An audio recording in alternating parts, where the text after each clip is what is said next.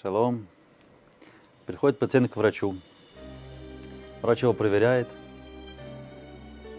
и говорит, ну что, дружок, доигрались? Он говорит, а что я? А что я?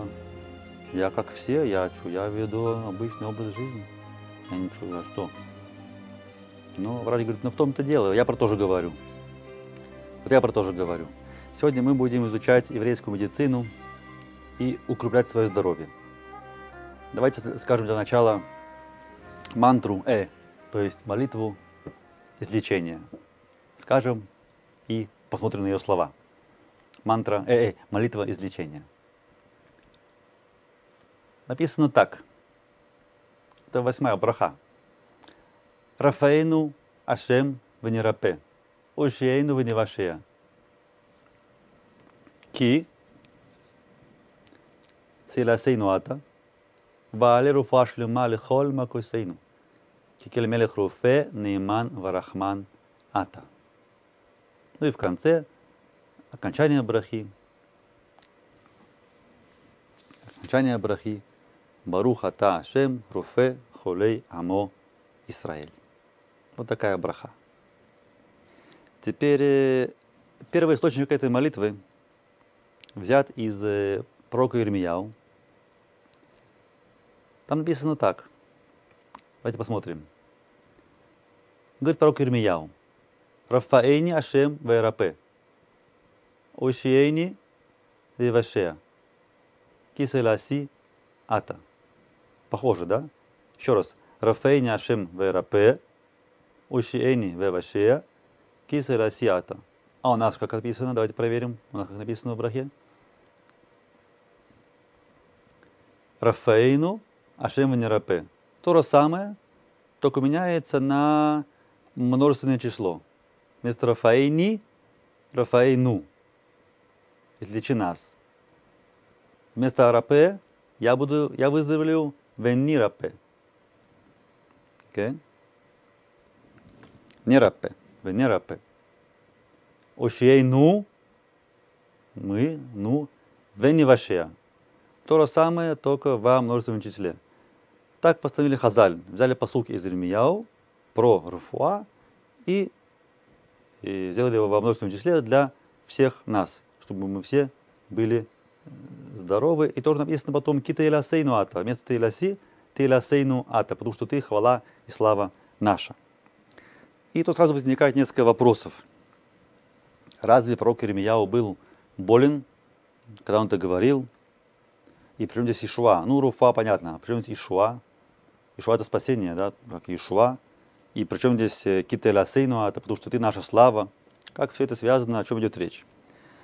Смотрите, надо сказать так, что на самом деле Иеремияу, когда он это говорил, он не был больным. У него не болел ни зуб, ни горло, ни спина. Все было нормально.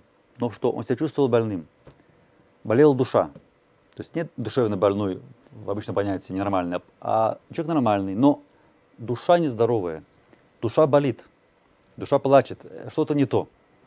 Чего не хватало Ирмияу? Это все произошло после того, как храм был разрушен. Были проблемы в народе Израиля. Ирмияу чувствовал, что что-то не то, что-то не то. Он сильно плакал. Есть история, как встретились Ирмияу, пророк Ирмияу и философ греческий Платон. Платон, они встретились. Платон был намного моложе, чем Ирмияу. И он спросил у него разные вопросы. Он знал, что ну, евреи умные, в Иерусалиме живут умные люди. Это было известно всем, всему миру. Платон был, как, бы, как известно, человек, который любил знания и мудрость, искал ответы на вопросы. Он решил пообщаться с Иеремией, с Мирьяу и с Иеремияу. Он спросил у него ряд вопросов. И на все вопросы Иеремия ему ответил ответы такие, что Платон уже не знал, с кем он общается, либо человек, либо ангел. Такие, он такого умного человека вообще не видел. Ну что, он застал Иеремия как раз, когда тот сидел и плакал после разрушения храма. Спросил у него Платон, дорогой Иеремияу, ты такой умный человек. Так что же ты платишь о, о камнях, о, о дереве, которое сгорело? Ну, а что? ну, допустим, это неприятно. Да, было здание красивое, да, было там и присутствие Шима, хорошо. Было, сейчас этого нет. ну, ну зачем плакать? Ты же умный, да, ты же человек рациональный. То есть мы понимаем, что мы не плачем о том, чего нет. Да? Мы должны смотреть будущее, а не в прошлое. Да? Как говорится, не плачут о пролитом молоке. Сказал ему Ремьяу, дорогой мой друг, я на все вопросы тебе ответил и отвечу. Но нет вопрос, почему я плачу, я не могу тебе ответить. Это вопрос, который касается души еврея. Это называется галут. Что такое галут? Галут это когда все как бы нормально, но все как бы б9. Что такое б9?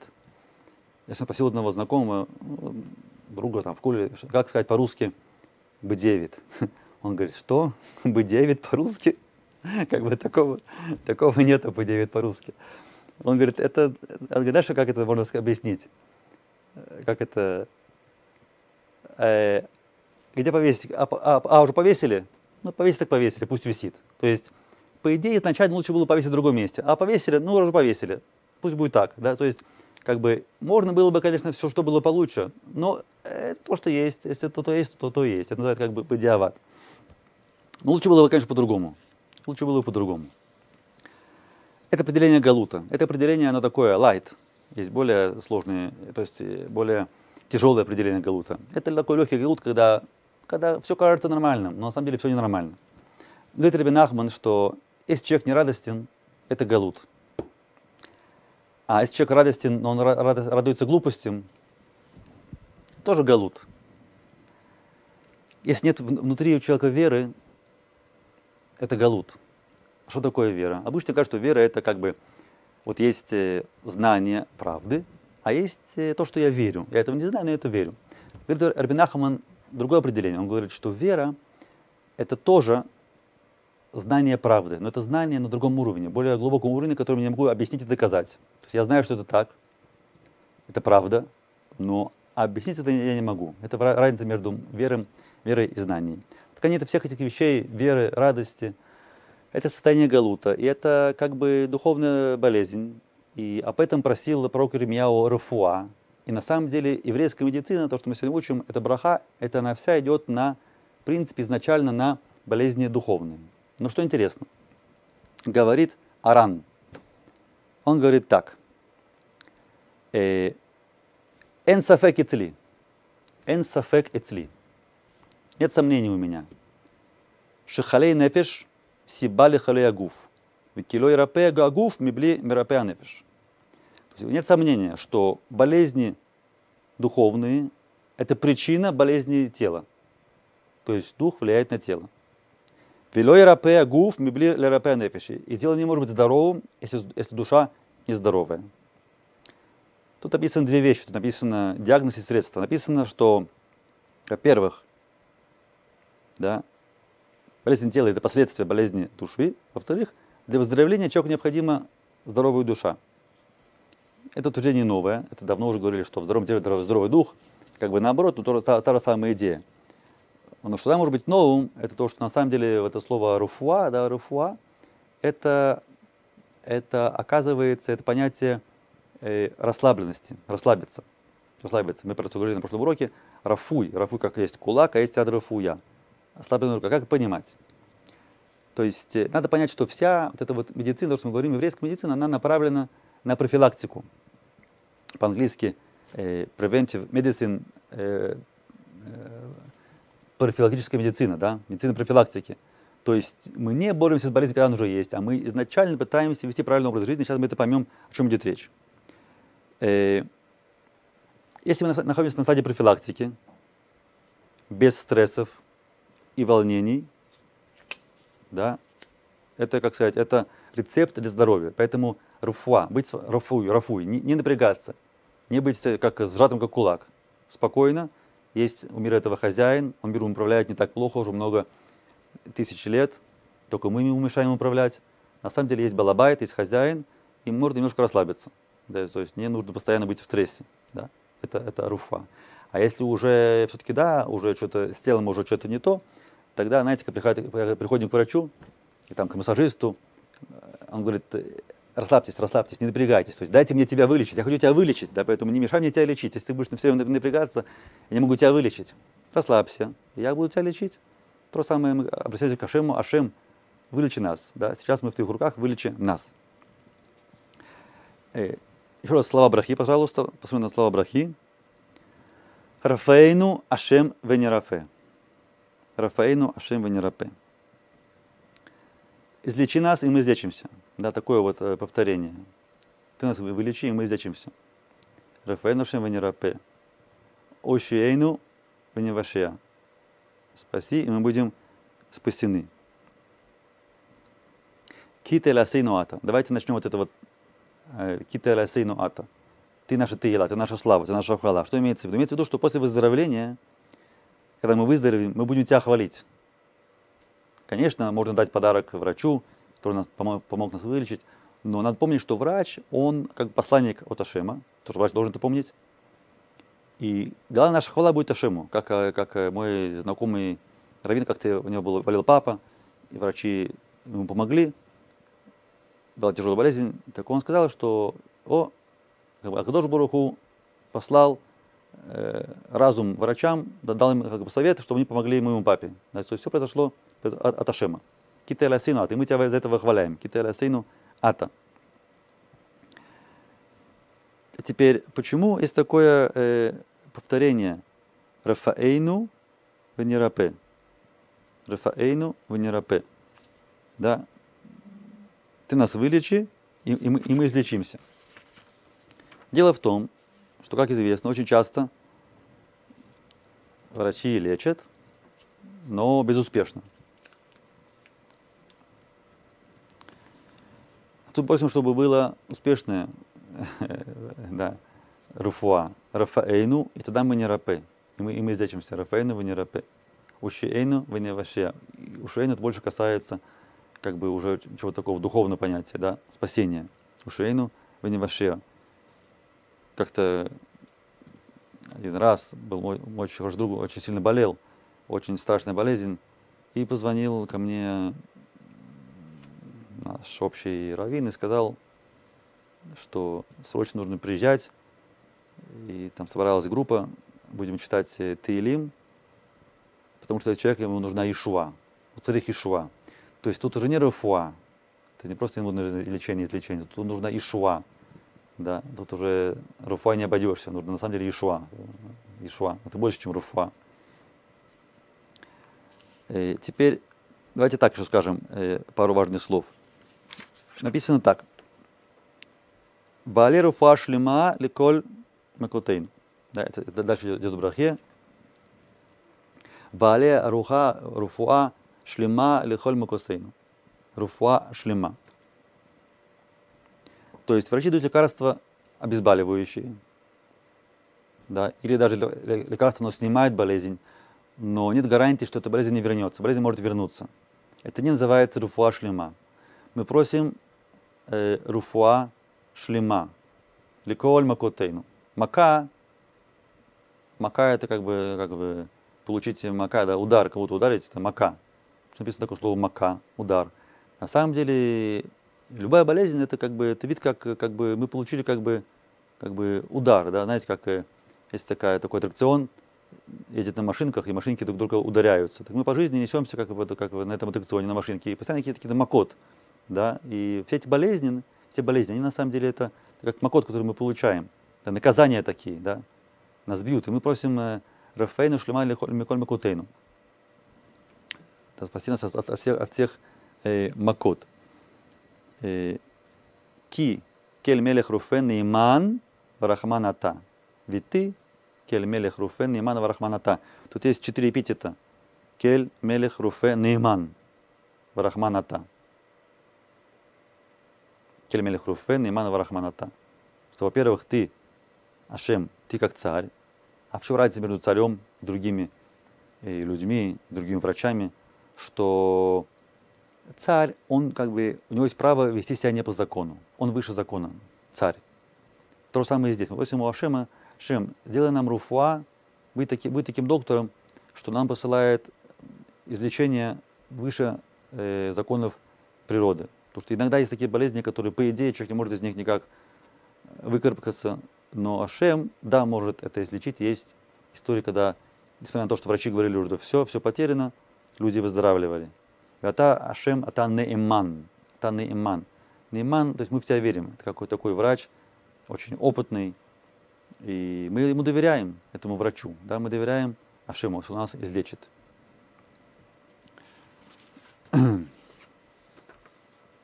Мы молимся о больных, конечно, мы молимся, мы молимся о всех больных не только за нас. Поэтому, опять-таки, эта браха написана Белашон Рабин, Рафаэйну, да, за всех нас, не только, не только за себя. Э, потому что боль чужого, другого еврея должна быть, должна быть так же, как боль наша, как будто наша часть тела болит. Был такой Равмейр Ходыш, Машгиях, и он плакал во время молитвы. Спросили, почему ты плачешь? Он говорит, ну как я могу не плакать? Ведь я знаю, сколько страданий есть э, у людей, которые болеют, потому что это болит, э, они нездоровые, им очень трудно, сложно. Больной человек. И как можно не плакать, когда мы молимся за, за других евреев? Когда когда доходил до Брахира Фейна, он, он плакал о выздоровлении других евреев. Теперь э, вопрос такой возникает из, из, из продолжения брахи. Кельмель Хурфейн Имана Варахмана Та, и мы заканчиваем эту браху и говорим Баруха Ашем Руфе Холе Амо Исраэль. Да? Барух Ашем Руфе Холей Амо Исраэль. Хорошо. Барух Ашем, ты Руфе, ты изучаешь Холей. Холей это больной. Холей, допустим, человек приходит э, к врачу с сыном и говорит Бен Шили Холе. Мой сын болен. Или они холе. Гу холе. Да? Холе, холе больной. Холей Амо Израиль – это больные народа Израиль. Секундочку. А, а где же другие народы? А если болен он не еврей, он не Ам Израиль, что мы не будем за него молиться? Как это понимать? Почему только Ам Израиль? Почему только мы говорим про Ам Израиль? Руфе хуля Амо Израиль.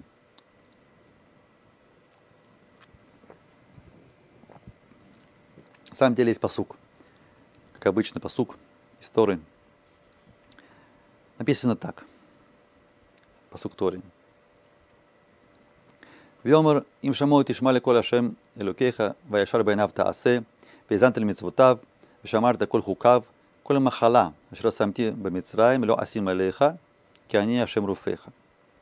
Тут написано так, что сказал Ашем, если ты, ну, имеется в виду весь народ Израиля, будешь служиться меня, будешь жить по законам, слушаться моих мецвод, лишмур мецвод, выполнять э, хуким, хуким, э, законы, да, то любую болезнь, все болезни, которые были в Египте, они не будут тебя касаться. Лёсим алеха, ки они ашем руфеха. Написано ки они ашем руфеха. Это посук, слова истории. Примите контекстом. Я, Бог, врач твой. Это посук истории.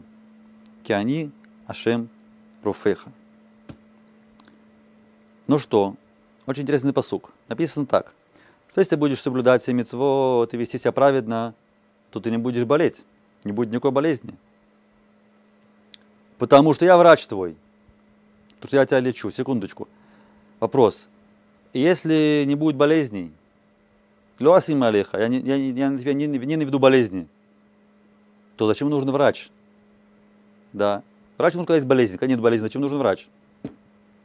Мы опять возвращаемся к теме, что еврейская медицина это, это медицина профилактики. То есть нужно стараться всеми силами не заболеть. То есть так вести себя, такого образа чтобы, чтобы не заболеть. Когда человек уже заболел, уже, уже немножко поздно. И интересно, что сейчас как раз медицина много о чем про это говорит. Да, там медицина 21, 21 век, там, и очень, очень много, что нужно, важно, важно, важно, важно не довести себя до состояния болезни, а нужно стараться жить так, чтобы была профилактика, сделать профилактика, чтобы не было болезни. Ну, видите, эти вещи не новые на самом деле, э, вещи давно, давно известные. Но что является профилактикой? Судя по этому посылку, получается так. Раша объясняет. Э, что я, не, я тебе не пошлю на тебя болезни? Леси Малиха. Это при условии им текай мецвод. Если будешь соблюдать мецвод, тогда не будет болезней. А если нет, то будут болезни. Если будут болезни, вот тогда я уже выступлю в роли врача, а не Шемруфеха. Так объясняет э, Мехильта. За Мидраш. Э, но говорит Раши, есть и пшат. То есть мы сказали Мидраш. Да? Мидраш говорит, что если будешь по мицвот жить, то не будет болезней. Если нет, болезни будут, но я тебя вылечу. Но Раши есть пшат. אני רופאך, я твой врач, и я обучаю тебя Торе и Мицевод, чтобы ты был спасен от болезней. Да? Это именно профилактика. И Раши приводит э, пример. Машаль. Как врач говорит, кируфе азе омер ле адам бари аль тухаль дворим шемагазин мутхали ледехоли. Врач говорит человеку, здоровому, не кушай эти вещи неполезные, которые могут тебя сделать больным. То же самое говорит э, Раши, Ашем говорит Израилю. Соблюдайте мецвод, не делайте нарушения, которые могут, потому что они могут делать вас больными. И тогда придется выступать Ашему в качестве врача. А известно, да, что не всегда, не всегда руфа, она не всегда она заканчивается успехом. Да? Теперь, я знаю, что большинство врачей, которые услышат эти, этот урок, эти, эти объяснения про мицвод и про руфа, и про профилактику, они так сморщатся очень скептически, да, или просто хладнокровно скажут, будут доказывать обратное, что мы знаем по опыту, что так это не работает, и на самом деле нет разницы между больными евреями и неевреями, наука ничего не доказана и так далее. Пседер, это понятно, потому что иначе трудно быть врачами, трудно функционировать как врач, если жить, жить по, по этому по сказанному. Но есть другие врачи, да, которые наблюдают в своей практике медицинские чудеса, и они согласятся с этим э, тезисом, я вам расскажу правдивую историю, которая произошла. Одна из многих историй. Был такой в Израиле глава правительства, который больше чем 6 лет он лежал в коме. В конце жизни очень тяжелое состояние. И его сыновья хотели ему помочь. И они спрашивали у врачей, что можно поделать. Они, ничего нельзя было поделать. То они спросили у врача главного, скажи, а был кто-то, кто был в таком состоянии, находился в таком состоянии и удалось его из этого состояния вытащить. Врач проверил по компьютеру, говорит, да, тут я вижу, что история болезни, был такой один человек, он тоже тут лежал, такое же состояние, но он э, встал на ноги, пошел домой. Окей, можно адрес этого человека, мы хотим с ним связаться. Он им дал.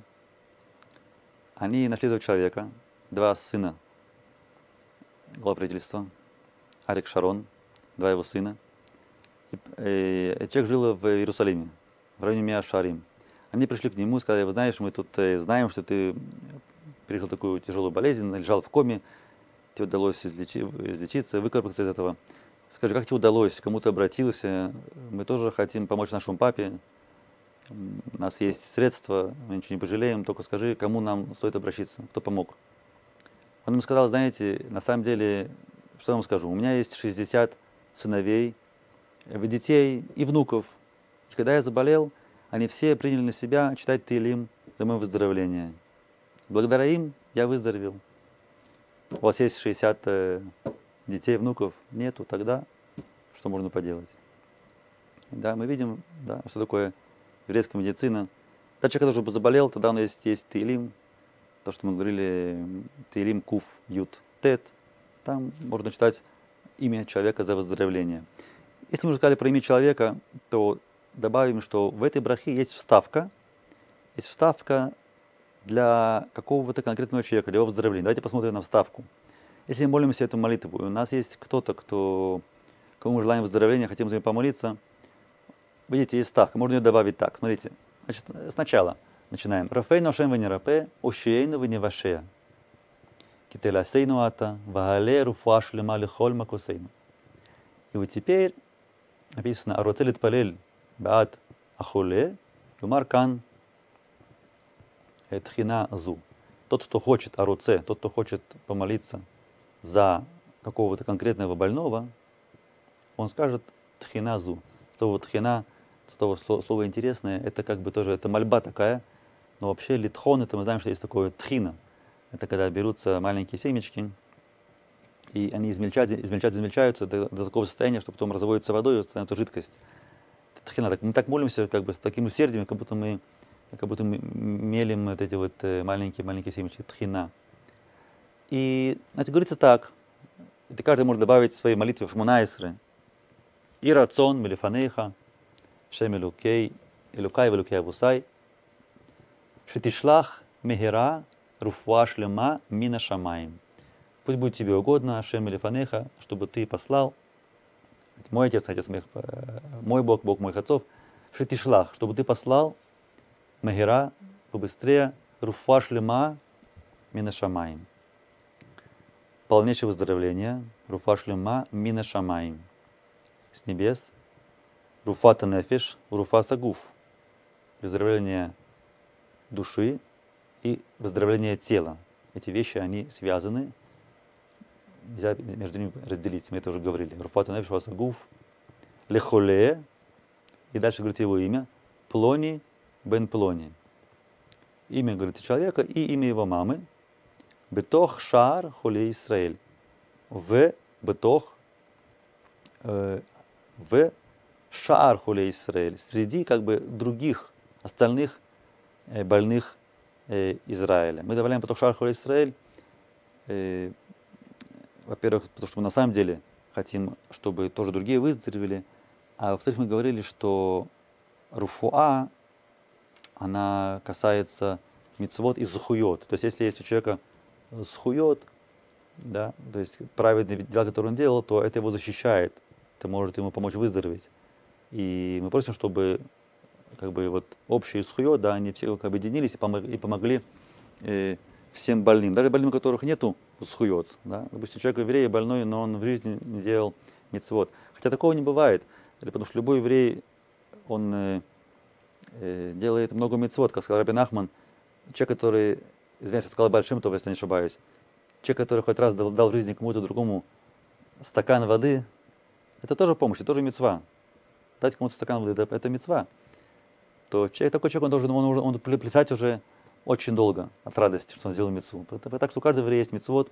Есть вопрос только чего больше. И Рамбам это объясняет, как это взвешивается, да, что если больше добрых дел, человек считается цадик, если больше плохих дел, человек считается не цадик, а когда поровну считается бенуни, и также судятся целые города и целые государства. И как это взвешивается, мы этого не знаем, потому что бывает очень сложные преступления, а верот очень большие мецвод.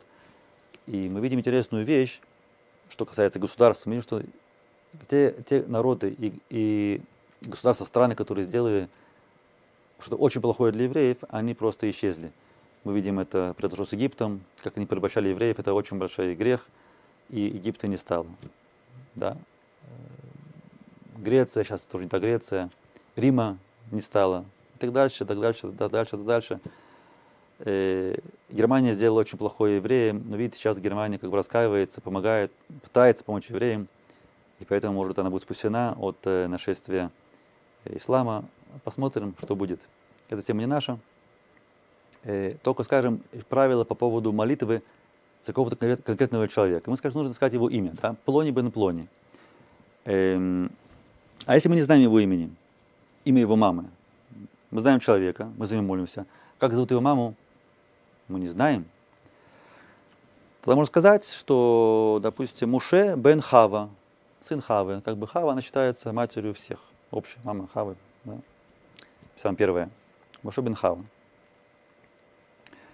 И э, теперь, э, если э, этот человек, он не еврей, тоже можно за него помолиться, да, он тоже, он тоже Бен Хава. Либо можно сказать, человек какого-то, какую-то его черту. Допустим, э, коллега там на работе заболел, и мы говорим, помоги, пожалуйста, э, Юрию. Юрий наш бухгалтер. Помоги, пожалуйста. Тишлах Руфош Лемали, Юрий бухгалтер. Да, наш. Ну и так далее. То есть, чтобы было понятно, о ком идет речь, так тоже можно сказать. Э, если это маленький ребенок, у него еще нет ни имени, он уже заболел, не дай бог. Совсем маленький, еще не успели делать бритмила, не дали имени, он уже приболел. Тогда говорится, мама говорит за молитву, или папа говорит, члах руфа шлема, или бни, бни, да, бен, бен, бен шели, бен шели. И тогда понятно, о ком идет речь, да? Бен Шели. Если кто-то другой молится, то можно сказать Бен Шель, да, и имя мамы. Теперь, если есть э, длинный список больных, э, и мы не можем все успеть всех назвать, мы стоим на, на молитве, да, пришли на молитву, молимся, время так ограничено, скоро будет Шалих Цибур говорить, то будет Кадиш, там Алену Шабех, да, то есть мы не можем долго молиться. А есть список длинный, нас попросили, да, приехали там на Кивре Цидиким, целый список с Мунайсры. Э, можно просто сказать, что Члах Руфа Шлема, пошли Руфа Шлема, э, всех упомянутым в этом списке. Тогда тоже будет понятно, о ком идет речь. Э, ну, такие более-менее такие вот, да, аллахот, что касается молитвы о, о больных. Теперь, эта браха, руфуа, она по счету восьмая. Восьмая, восьмая браха. Что было, на, что было на, ну, 8? Что такое 8? О чем цифра говорит? Цифра 8. О чем она говорит? Цифра 8 это бритмила. Правильно? На восьмой день делается бритмила. И на самом деле это не случайно, что браха поставили восьмой. Допустим, они седьмой. Помните, у нас был посук. Вишав, верафа, верифа. Да? Человек делает чуву, потом слиха, да? а потом у нас было гиула. А почему не руфа? Может быть, руфа, а потом гиула, да? Лучше прийти на гиулу уже здоровеньким? Нет. Руфа было поставлено на восьмое место. Это очень важно, чтобы было на восьмом месте. Почему? Дело в том, что мы говорили, что наше излечение это напрямую зависит от нашего поведения духовного, от соблюдения мецвод. Так, если мецвод не были соблюдены, соблюдены, мы плохо соблюдаем Тору, то нечего удивляться, если человек будет себя плохо чувствовать. Так у него есть право просить руфа. Да, сначала сделаю чего, потом делаю просить руфа. А что касается бритмила, это мецва. После бритмила человек, э, это как операция, человек плохо чувствует, тоже маленькие дети, кровь идет. Но это мецва. И поэтому, когда мы сделали мецву, бритмила, огромная мецва, у нас есть полное право просить руфа шлема. Да, ведь мы же сделали мецва, не может такого, что делает мецву, он заходит э, в брит, да, делает союз с Ашемом, и потом у него он болеет. Как такое может быть? Да? Заключили союз, что Ашем будет нам помогать, и такое состояние тяжелое после бритмила. Поэтому у нас все права просить руфа. Поэтому поставили руфа на восьмое место, чтобы заодно уже, как бритмиле, посоединить другие наши э, недуги и болезни, как бы как взять как это как трэмп, да, то есть заодно уже мы просим руфа все другие болезни, потому что у нас есть право просить руфа за бритмила, поэтому мы просим руфа и за все остальные болезни, хотя, быть, по идее, нам и не полагается э, руфа там, за, за, за эти болезни. Э, вот такие, как бы, да, правила руфо. Давайте еще вспомним на эту браху, взглянем на браху, как она говорится. Беркат руфуа. Рафаэйну ашем венерапе, ушиэйну веневашея, киселасейну ата. Ваале руфуа шлема ликоль нахоль макосейну. Дальше, кто хочет молиться за какого-то конкретного больного. Кикель мелех руфе нейман варахманата, баруха та ашем, руфе холей амо Исраиль. Это заканчивается браха. И я желаю всем хорошего здоровья, чтобы мы не болели, были здоровы духовно и физически. Всего хорошего.